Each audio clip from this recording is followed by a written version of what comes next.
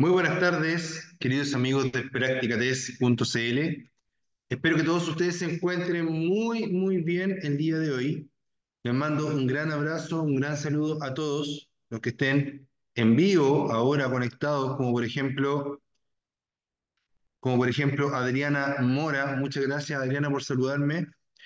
Y también a todos los que van a estar, ¿cierto?, conectados de forma sincrónica durante la tarde, durante la noche o durante la mañana próxima. ¿Ya? Mucho ánimo, que se puede, vamos que se puede, vamos por esa licencia, estudiemos, aprendamos, ¿cierto? Y saquemos el mejor provecho de estas clases, ¿cierto? Y para aprobar la licencia, recuerden que es importantísimo hacer muchísimos test, ¿ya? Si usted hace muchos test, lo más probable es que le va a ir bien. ¿Cuántos test? Yo le recomiendo hacer 100 test por lo menos, pero 100 test hechos a conciencia, ¿ya? Les mando un abrazo a todos y empezamos con la clase de técnicas de conducción del día de hoy que recuerden no reemplaza a una clase práctica porque una clase práctica les van a enseñar dónde están los límites de la moto, dónde están tus propios límites y eso no se puede hacer si no lo experimentas, ¿ya? Así que siempre toma la instrucción, toma el conocimiento, los cursos que puedas hacer, siempre tómalos como una inversión, ¿ya? Sobre todo cuando estamos hablando de que si tomamos un curso, si aprendemos, si estudiamos más, eh, va a repercutir directamente en nuestra seguridad, ¿ya? Piensen que si ustedes toman una clase y se ahorran un accidente, ya la clase está totalmente pagada, ¿ya? Así que eso, queridos amigos, les mando un abrazo a todos ustedes y espero que les vaya excelentemente bien, ¿ya? Vamos a empezar ahora con el contenido de la clase. Ayer estuvimos hablando de la mirada, ¿cierto? Estuvimos hablando eh, también del freno de motor. Y hoy día vamos a hablar de algo que es muy importante, que vemos todas las semanas, y que es el tema de adelantamiento. ¿ya? Dice, el adelantamiento consiste en una maniobra efectuada como norma general por el costado izquierdo del eje de la calzada, mediante la cual un vehículo se sitúa delante de otro u otros que le antecedían. Muy importante esto, adelantamiento. Si yo quiero adelantar, tienen que estar todas las condiciones dadas con la máxima seguridad. Si no es así, entonces mejor no adelantar. ¿Ya? Dice que el adelantamiento consiste en una maniobra que por lo general se hace por el lado izquierdo, pero ojo que también en ciertas ocasiones se puede hacer por el lado derecho. Sin embargo, recuerden que el adelantamiento, para que se llame adelantamiento, necesariamente tiene que usar una pista que viene en sentido contrario, ¿ya? Si no usas una pista que viene en sentido contrario para realizar la maniobra, deja de llamarse adelantamiento y empieza a llamarse sobrepaso. ¿Ya? Ahí tienen el primer dato importante de la clase de hoy. El adelantamiento es cuando utilizo una pista que viene en sentido contrario para realizar la maniobra y el sobrepaso es cuando tengo pistas suficientes, ¿cierto?, en el mismo sentido del tránsito para situarme al, adelante de otro vehículo. Entonces, recuerden que eh, siempre, siempre, siempre, la regla de oro para adelantar es que no venga ningún vehículo de frente, ninguno, ni lejos, ni cerca, absolutamente ninguno, ¿ya? Entonces tenemos ahora que este adelantamiento es una maniobra que es necesaria en el tránsito, ¿ya? El adelantamiento no es una maniobra prescindible. El adelantamiento es una maniobra total y absolutamente necesaria. Si no hay adelantamiento, no hay posibilidad, o sea, perdón, si no hay necesidad de adelantar en cierto momento, ¿cierto? Eh, no, no lo hagamos porque es una maniobra peligrosa, ¿ya? Pero en algún momento de la conducción siempre se va a hacer necesario, o sea, es como, a lo que voy con esto, es que a pesar de que el adelantamiento es una maniobra peligrosa, tenemos que aprender a hacerla y en algún momento vamos a tener que hacerla, ¿ya? No es como que porque, sé, porque es peligrosa la voy a evitar. No, en algún momento va a haber que hacerla, por lo tanto hay que saber hacerla de la forma más segura posible, ¿ya? Tan compleja es esta maniobra que inclusive la podemos dividir en tres etapas. La primera es antes de adelantar, la segunda es durante el adelantamiento y la tercera es después del adelantamiento. ¿Ya? Dice, verifique que el vehículo que le precede no ha indicado su propósito de desplazamiento hacia el lado izquierdo. Cuidado que no vaya a adelantar al mismo tiempo que usted lo hace. Después dice, antes de iniciar la maniobra de adelantamiento, debe comprobar también, mirando hacia atrás por el espejo retrovisor, que ningún vehículo ha iniciado la maniobra para adelantarle, no existiendo peligro en la parte posterior. Entonces, en los puntos 1 y 2, nos está hablando de que para empezar a adelantar, lo que yo necesito hacer, sí o sí, es asegurarme de que el espacio que necesito para adelantar va a estar disponible para mí en ese preciso momento. Después, en el punto 3, dice señalizar la maniobra accionando el indicador de dirección o en su efecto con el brazo. En el punto 3 me pide específicamente que yo señalice la maniobra. Y en el punto 4 me dice que si fuera necesario, baje alguna marcha. Señalizo con las luces intermitentes. Si tuviera las luces intermitentes malas, señalizo con el brazo, pero lo ideal es que las luces siempre estén buenas, porque eso va a aumentar mucho el nivel de seguridad que voy a tener en mi moto. Y en el punto 4 dice que si fuera necesario, baje alguna marcha. Si fuera necesario, baje alguna marcha. ¿Ya? ¿Qué significa eso? Eso significa que cuando yo voy a adelantar, necesito la máxima potencia posible, la máxima aceleración posible, ¿ya?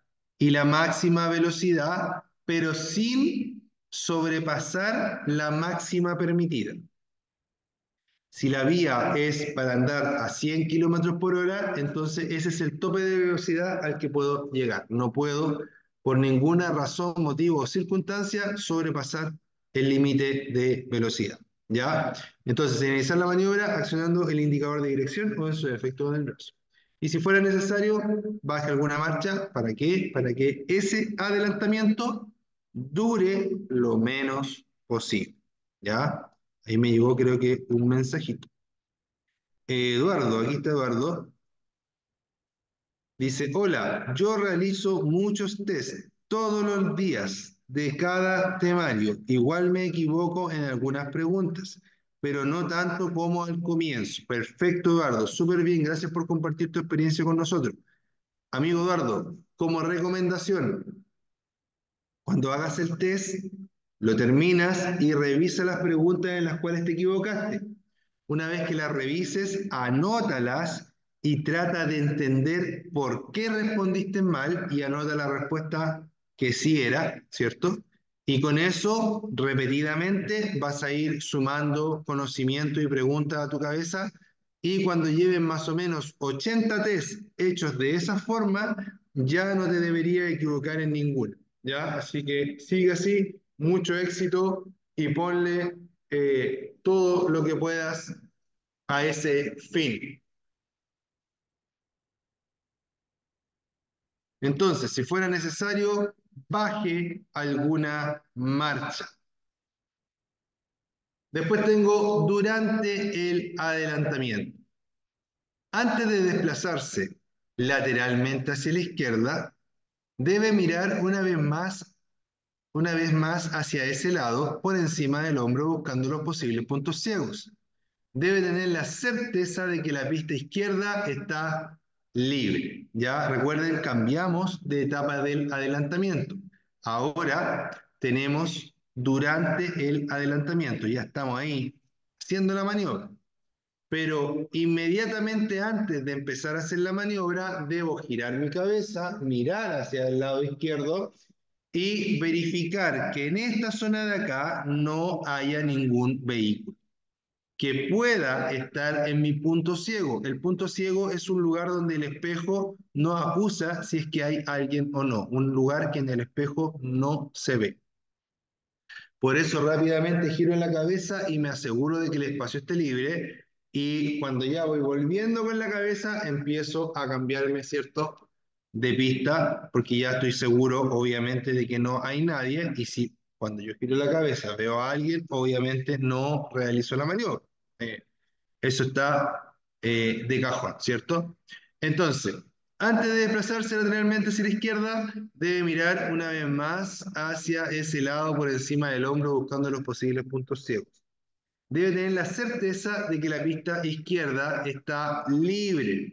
Debe dejar una distancia lateral que garantice seguridad, ¿ya? Esa distancia que debo dejar, que acá especifica lateral, en realidad debe ser una distancia de todos lados, ¿ya? Si ustedes se fijan aquí, tengo el vehículo azul, ¿cierto? Y tengo de aquí hasta acá, ¿cierto? Una especie de campo de fuerza. Esa especie de campo de fuerza hace que yo eh, tenga seguridad en todo momento, ¿ya? Porque si yo me pongo aquí, si este vehículo frena, yo no voy a alcanzar a parar y lo voy a chocar. Si vengo por aquí, si el vehículo este se mueve hacia allá, me va a chocar, ¿cierto? Y si yo estoy aquí, entonces cuando yo necesite frenar, este vehículo no va a reaccionar, no va a alcanzar a reaccionar y me va a terminar chocando a mí. ¿ya? Por eso es que este campo de fuerza debe ser respetado siempre. Obviamente es un campo de fuerza imaginario, ¿ya? Nunca se acerquen a nada tanto, ¿ya? Siempre, entre más distancia tengan de todo, va a ser mejor y vamos a tener mejores probabilidades de sobrevivir, ¿ya? Sigo. Después del adelantamiento. Después del adelantamiento. Dice, debe observar, cambiamos nuevamente de etapa, debe observar a través del espejo retrovisor la situación del vehículo adelantado. Y cuando sea posible, vuelva a la pista derecha previa señalización con el intermitente de ese lado o con el brazo, sin obligar a modificar su trayectoria o velocidad a otros conductores. El conductor del vehículo que es adelantado debe mantenerse lo más cerca posible del borde derecho de la calzada, ceder el paso en favor del que lo adelante y no debe aumentar la velocidad hasta que éste complete la maniobra. ¿Ya? Muy importante eso, queridos amigos, ¿ya? Muy importante eso, queridos amigos.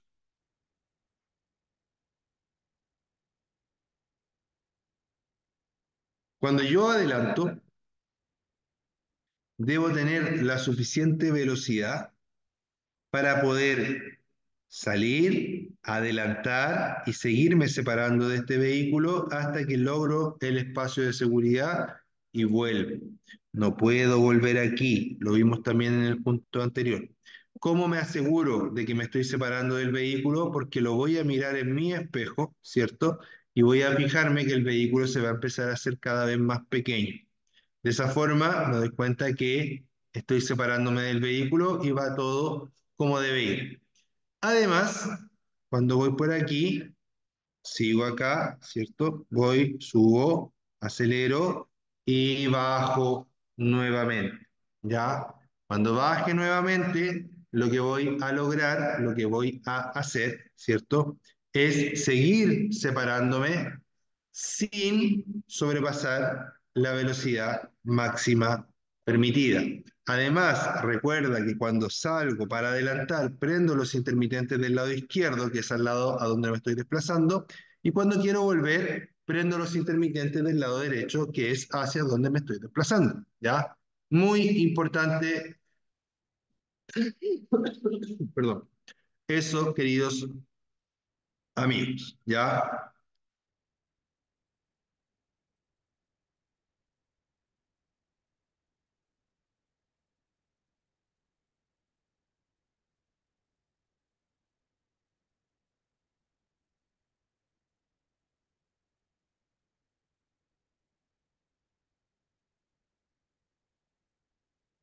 Otra cosa importante es que además de la conducta que nosotros debemos tener cuando adelantamos, es que el vehículo que está siendo adelantado también debe mantener una conducta, ¿cierto?, que eh, favorezca la seguridad de todos. Ya dice, el conductor del vehículo que es adelantado debe mantenerse lo más cerca posible del borde derecho de la calzada ceder el paso en favor del que va adelante y no debe aumentar la velocidad hasta que éste complete la maniobra. Ya, súper importante eso también, queridos amigos. Cuando me están adelantando, jamás debo acelerar, porque si acelero, voy a bloquear el paso del vehículo que quiere reingresar a la pista. ¿Ya? Si ya me están acelerando, lo que debo hacer es, ojalá, correrme lo más posible a la derecha y además de eso, ojalá dejar un poquito de acelerar para que el vehículo se le haga más fácil poder volver a entrar, ¿ya? O al menos, si no tengo ganas de cooperar mucho, al menos jamás, esto sí está prohibido, jamás acelerar mientras me está, ¿cierto? mientras me están tratando de adelantar. Es decir, no puedo bloquear al vehículo que quiere reingresar. Importante, ¿ya?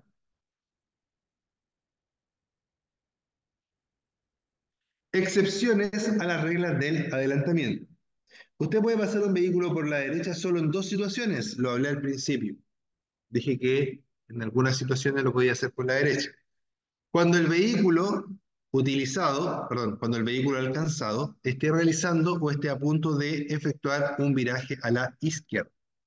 Y cuando circule por una vía urbana con tres o más pistas de circulación en un mismo sentido de tránsito. Nunca adelantes a tu propia razón, ¿ya? Nunca adelantes a tu propia razón. Muy importante, queridos amigos.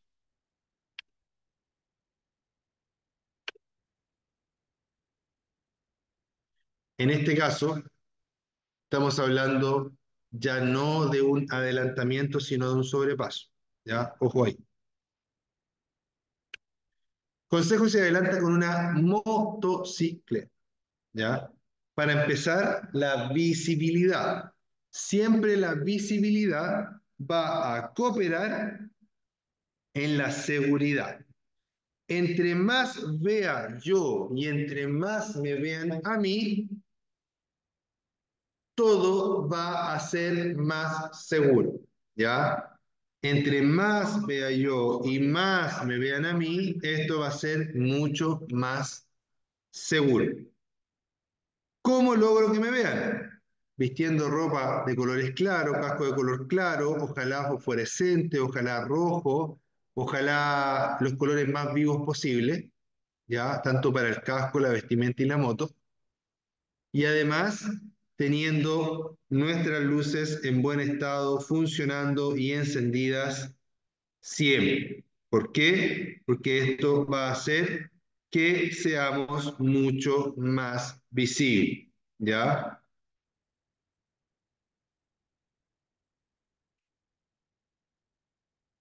Dice, eso es para que a mí me vean, para yo ver, ¿ya? También tener las luces en buen estado. Y una cosa importante que no muchas personas mencionan o toman en cuenta es que el visor de mi casco debe estar lo más limpio posible. Debe estar lo más eh, sano posible. ¿Qué quiere decir eso? Que esté limpio y que no esté tan rayado. Si está muy rayado, eso va a jugar en contra de lo que puedo ver o no.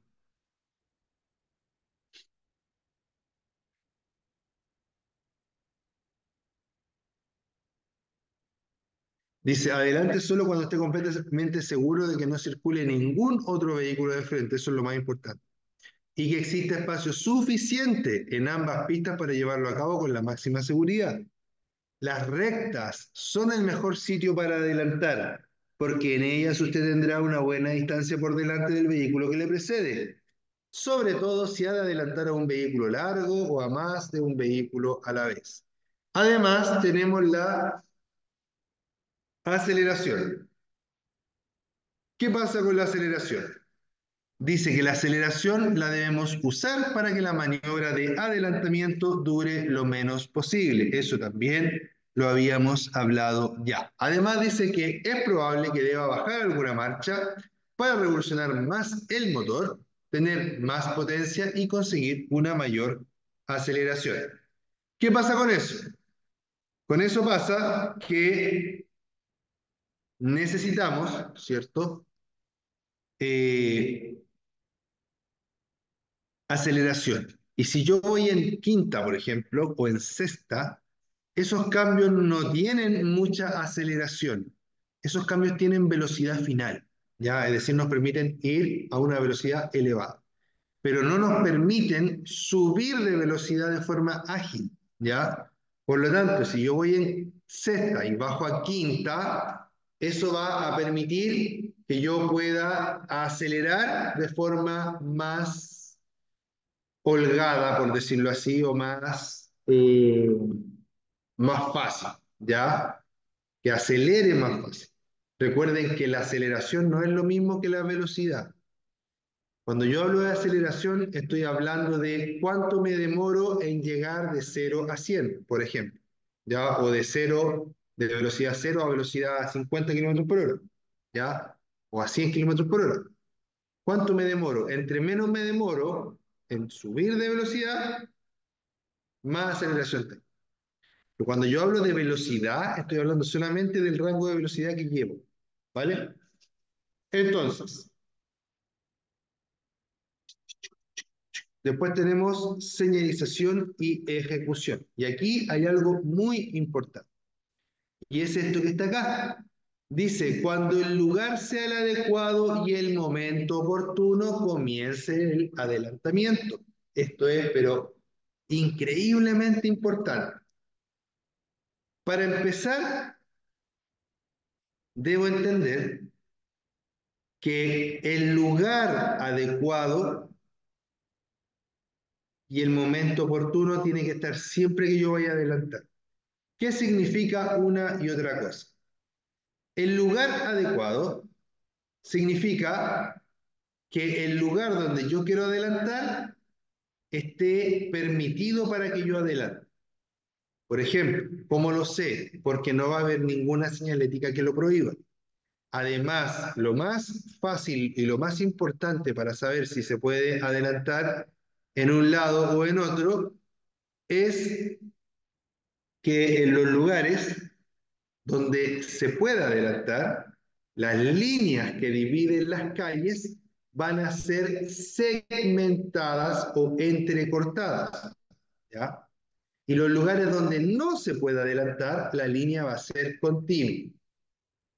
Además, Las líneas también están acompañadas por tachas, que son estas cositas eh, reflectantes que hay en las calles, ¿cierto? Para ayudar a demarcar, ¿cierto? O para ayudar a las líneas, ¿cierto? A que se, vean más. Si las tachas son de color blanco, las tachas significa que esas tachas permiten que yo pase por arriba de ellas. Si las tachas son de color rojo, significa que esas tachas no se pueden pasar. Entonces, las tachas de color rojo son tachas que van acompañadas siempre por líneas continuas. Y las tachas de color blanco van a ir siempre acompañadas por líneas discontinuas. ¿ya? Entonces, el lugar adecuado, si yo quiero adelantar, tiene que tener tachas blancas y tiene que ser con línea discontinua. Además, no tiene que haber ningún letrero que prohíba el adelantamiento. Y el momento oportuno habla de que, aunque sea el lugar adecuado, tengo que esperar que no venga ningún vehículo de frente, que no haya nada que pueda hacer que la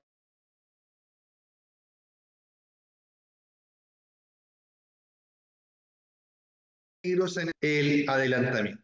¿Ya? Eso, queridos amigos, con respecto a ese punto. Después tengo, primero, indique su cambio de pista, use para ello la luz intermitente y seguidamente acelere. Sobrepase el otro vehículo y vuelva a su pista, indicándolo de nuevo con la otra luz intermitente.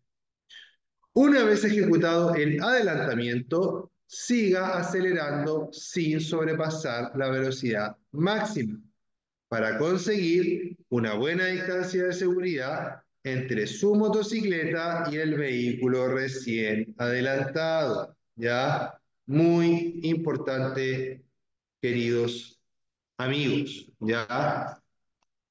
Siguiendo con la información, en este cuadro azul hay información siempre importante.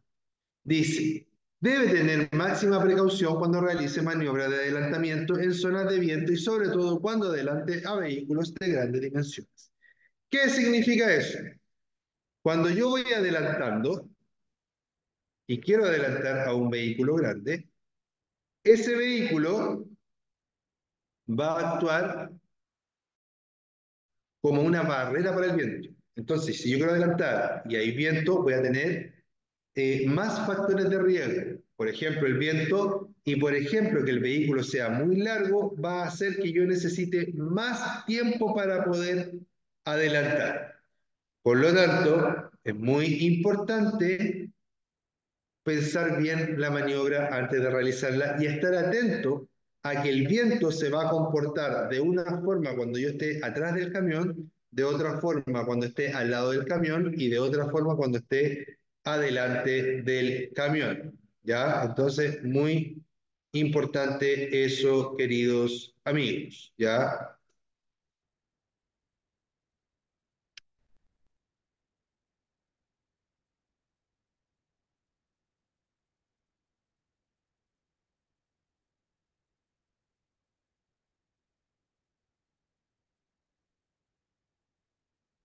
Excepciones, eso ya lo leí, está, está repetida eso, ¿ya?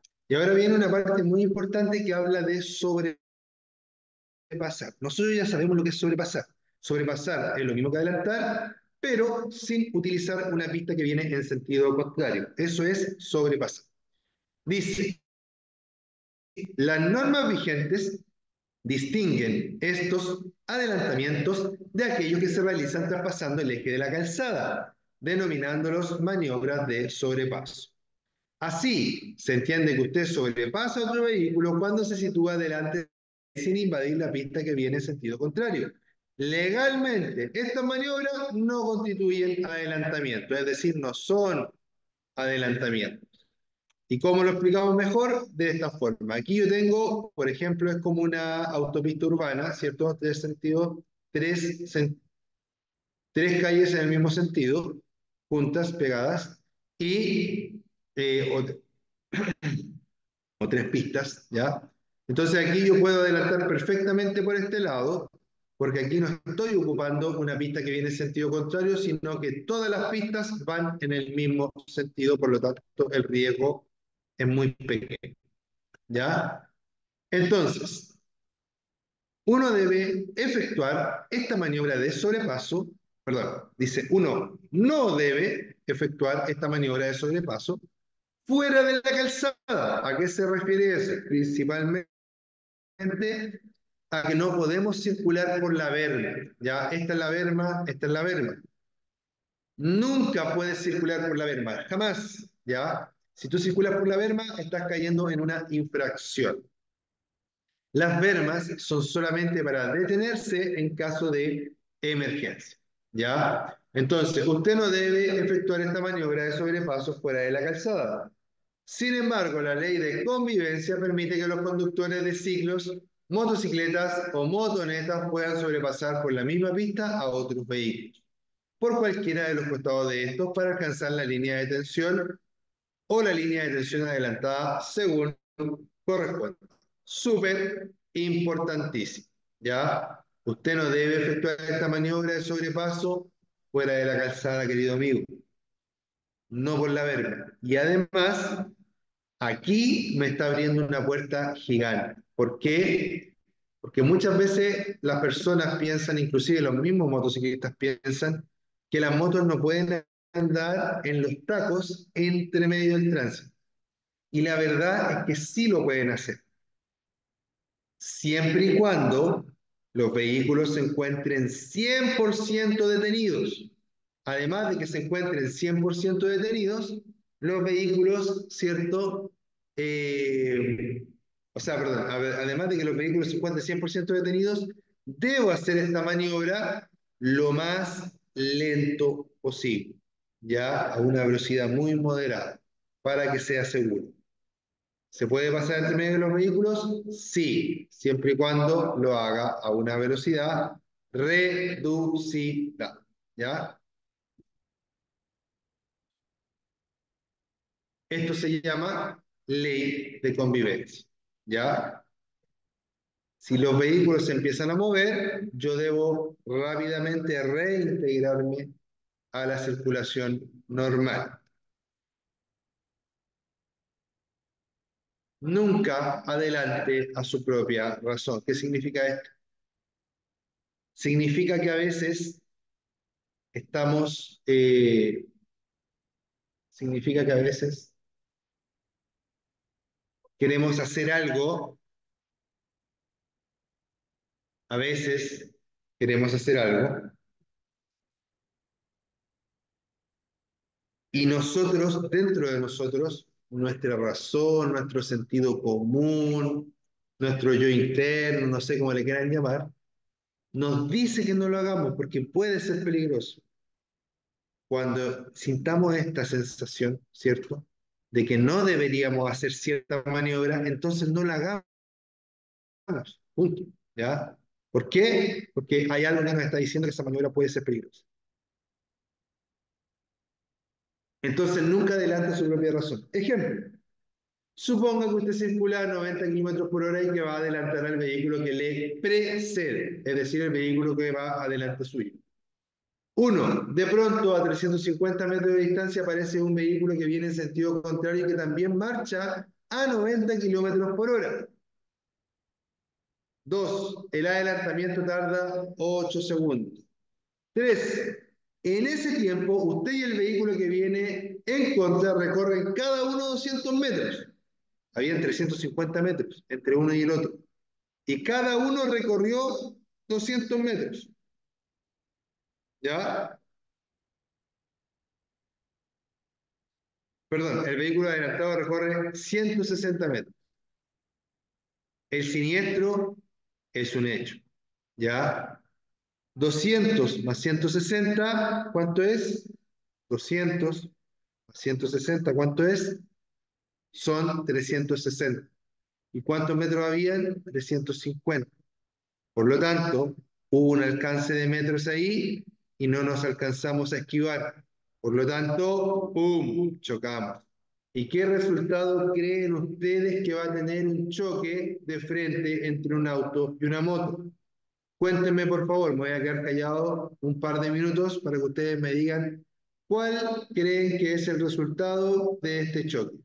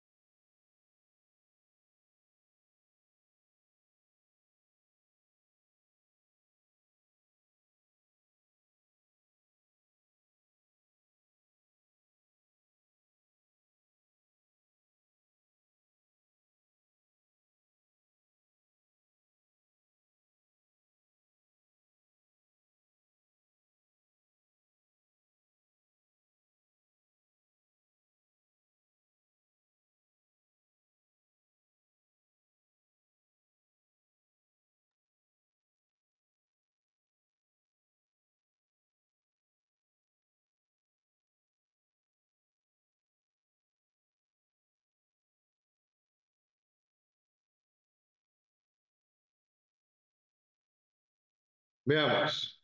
Muerte de la persona que va en la moto, dice Adriana.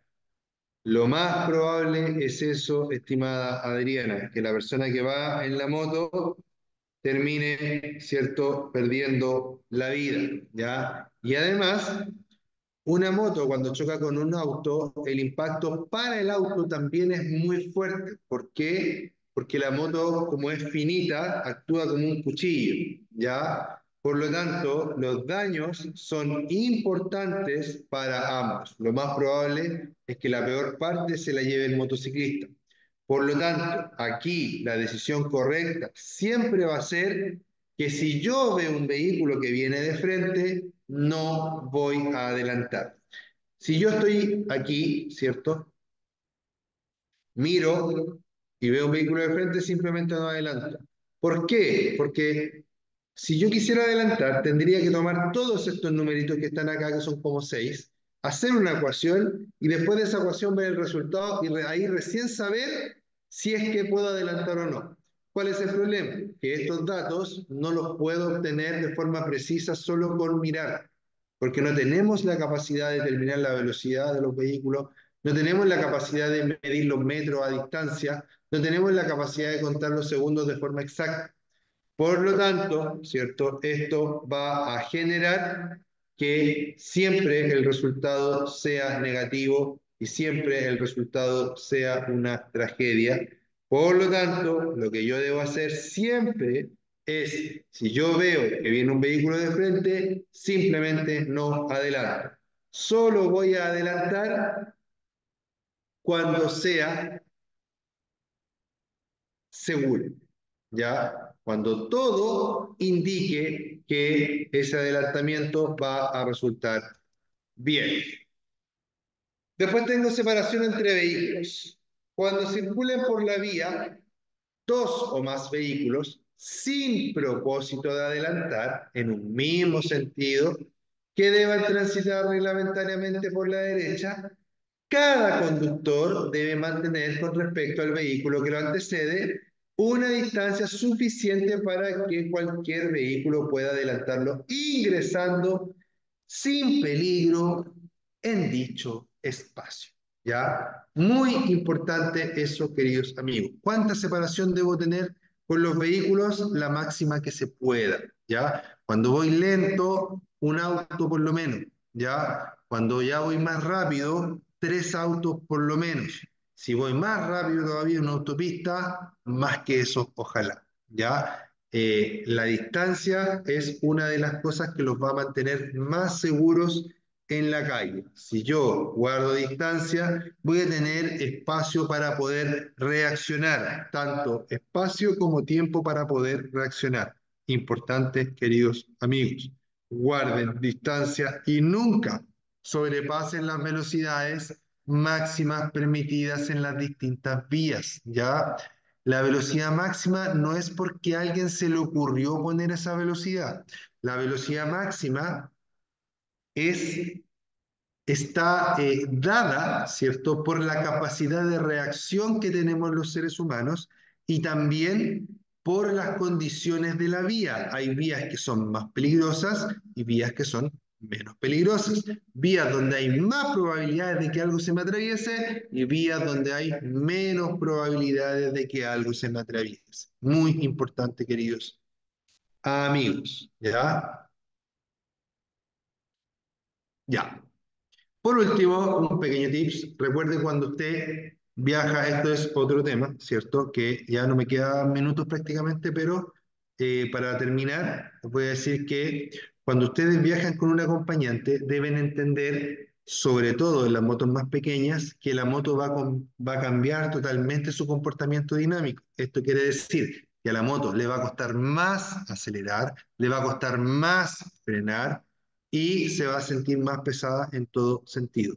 Entre más grande y potente sea la moto, menos se nota.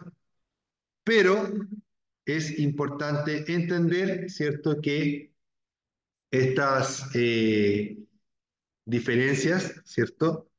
Eh, pueden llegar a complicarnos la vida e inclusive a llevarnos a un accidente. Así que eso, ya. Nos vemos. Un saludo para todos los que estuvieron conectados el día de hoy, especialmente para Adriana Mora, que estuvo desde el principio hasta el final, y a todos los amigos que vieron este video completito y que están tratando de estudiar lo mejor que pueden para el examen municipal. Cuídense que les vaya bien. Mi nombre es Ricardo Cornejo, esto es Práctica3.cl y espero que se cuiden muchísimo. Nos vemos mañana para hablar de cascos, chaquetas, guantes y todo eso que a los motociclistas nos gusta. Cuídense, chao, chao. Nos vemos mañana. Chao, chao.